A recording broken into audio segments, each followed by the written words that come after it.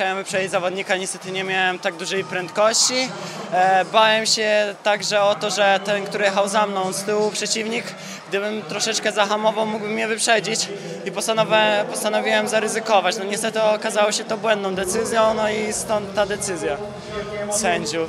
Moja pierwsza taka impreza dzisiaj faktycznie dzieje się na tym lodowisku. Byłem bardzo podekscytowany tym startem. No szkoda, że się to tak skończyło, jednak wiem na co mnie stać, że jestem w stanie już walczyć z tymi e, chłopakami, którzy są ode mnie starsi. Wiem, że liczę się już troszeczkę w tym biegu. No jutro tak samo będziemy walczyć i będę się starał pokazać jak na, z jak najlepszej strony i będę walczył do końca na pewno.